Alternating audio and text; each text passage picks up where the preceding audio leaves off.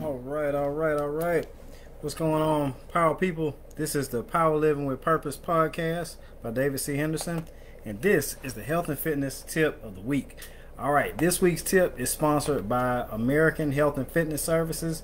Uh, we bring the fitness center to you, and uh, even during days, you can still work out, get in shape, prevent uh, the weight loss, prevent the weight gain during the holidays with a personal trainer, personal fitness coach, diet plan, all of that. We have it.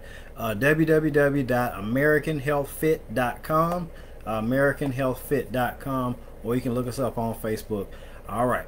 Now, um, and they, every week these tips are also published in the Tuskegee News. Now, um, the cancer fighting, this week's tip is cancer fighting fruits and vegetables, nature's medicine.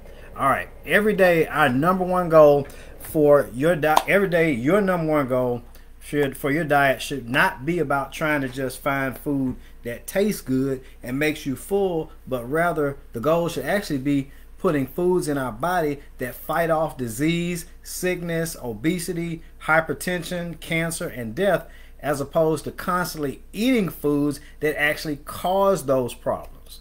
Basically for the entire existence of human beings on this planet. There have always been two things that every society has known uh, are the primary keys to good health and long life, and those are fruits and vegetables. As for, and for centuries, they have not just been good for you, but they have been and will continue to be the actual cure for cancer and many other diseases. Remember that the hospitals have not hospitals have not existed for the large majority of human history on this planet. Therefore, eating healthy um, has never actually been complicated. If you want to be healthy, it's extremely simple. Eat more fruits and vegetables and exercise. That pretty much sums it up. The rest is just details. Also, if you eat enough fruits and vegetables, it will not only fight off disease, but it will also help fight off hunger and cravings for junk food and fast food. All right. Now, for the um, for the vast part of modern dietary educational history, we've been taught that calories are calories, and regardless of the source, even though we know that there are healthy fats versus unhealthy fats, healthy carbs versus unhealthy carbs, and there's also healthy sugar versus unhealthy sugar. All right. So, um, uh, basically, the natural sugar from fruit is much safer for your blood sugar, much safer than even we really believe, because even that that uh, studies are showing that um, uh, it's way is is far safer than we even thought before. And meanwhile, things like high fructose corn syrup are far more dangerous than we could ever imagine. Also, artificial sweeteners have been found to interact with the body similar to sugar, like like Splenda, just without the calories. But that's why diet and exercise go hand in hand because exercise helps burn off the negatives and build the positives, such as improved heart health, blood pressure, blood sugar, lower stress levels, better mental health, and better mobility. Now, New research is also showing that health professional health professionals have been taught wrong as well about carbohydrates, fats, small meals, uh, lots of small meals, and breakfast being the most important meal of the day, um, and which I will address uh, in my upcoming tips. Believe me, it's very tempting for me to be upset now, knowing that everything they taught us as health professionals all the way up until the last couple years has been wrong. Um, however, we have to just understand that that's how it goes as humans because we learn as we go. Nevertheless, as soon as we learn better, then we immediately need to start doing better. For years and years, I thought eating healthy carbohydrates was fine. When I started going low low carb, I started seeing better results from workouts and just feeling better overall. Um, you know, and then when you think about it scientifically, like, yeah, it actually does make sense. And they taught us wrong.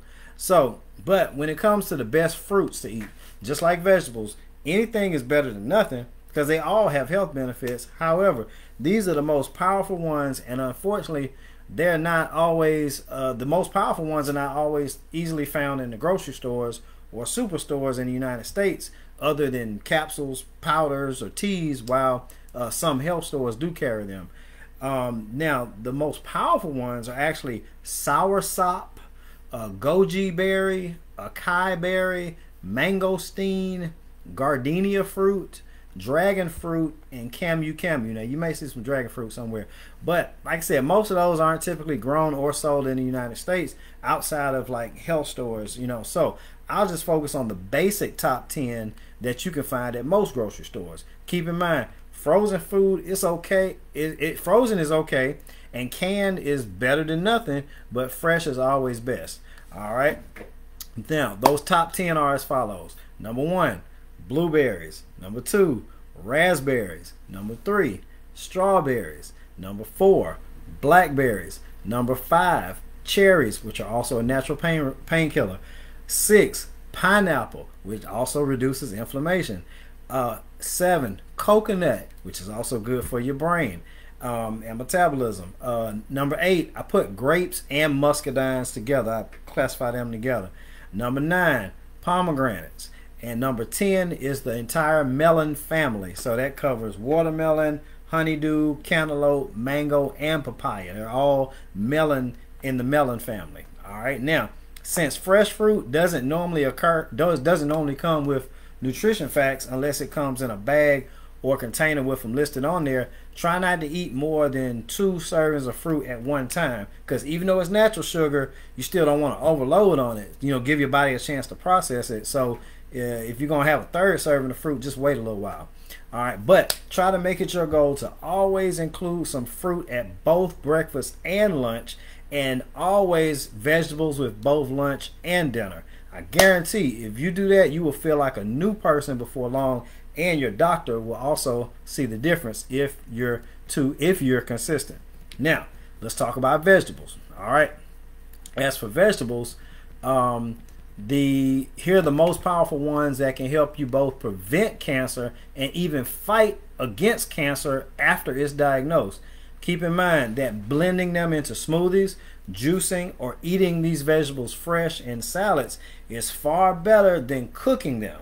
Although cooked vegetables are still far better choices than the typically unhealthy American diet, which consists of mostly bread, meat, sweets, and junk food. So fill your diet with fruits and vegetables, and it will help crowd out the rest of the junk.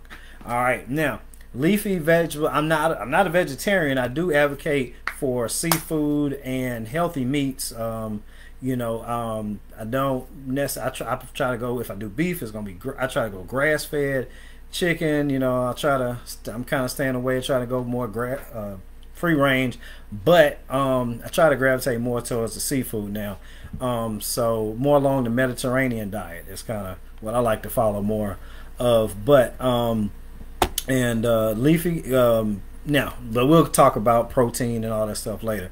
All right, now for vegetables, number one, leafy green vegetables, especially spinach, kale, leeks, bok choy, and lettuce, and any and different versions of lettuce, as well as collard greens, mustard greens, turnip greens, and any other greens.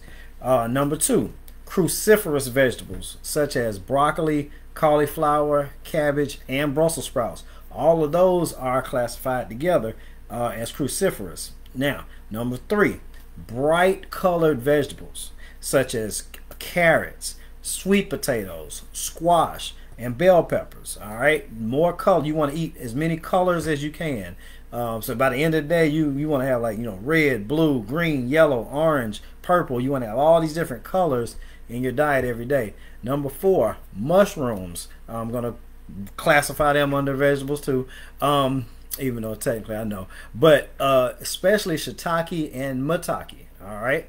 Now, red and purple vegetables, uh, that that that family, uh, beets, tomatoes, water, uh, well, beets, tomatoes, um, purple carrots, eggplant.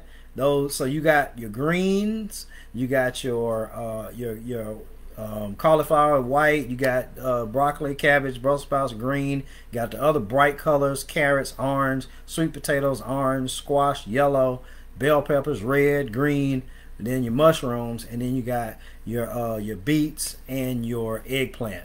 All right, and um, basically, oh, and then okay, number six, garlic and onions. All right, and then number seven, any other type of green vegetable cucumbers, avocados, anything else like that. So keep in mind that in addition to now, notice I didn't say corn because corn is relatively new to the human diet. It's only been around the earth for a couple hundred years when that has been widely distributed and it's probably more harmful than it is helpful. If you ever wonder why your body does not digest corn, because human beings have only been eating it for a couple hundred years, our bodies still don't know how to digest corn. That should let you know it's a foreign substance to the human body, even though most everything now is made out of corn, uh, unfortunately. So, all right, um, but keep in mind that in addition to fruits and vegetables, herbs, roots, nuts, seeds, and teas, uh, are though they are all powerful in preventing and fighting cancer as well as every other health problem on earth. Basically, when you look at a plate at every meal, if the foods on your plate were grown on a farm, a tree, or a vine, then you're in good shape. If not, then you're letting your defense down against cancer, and we all know cancer does not fight fair.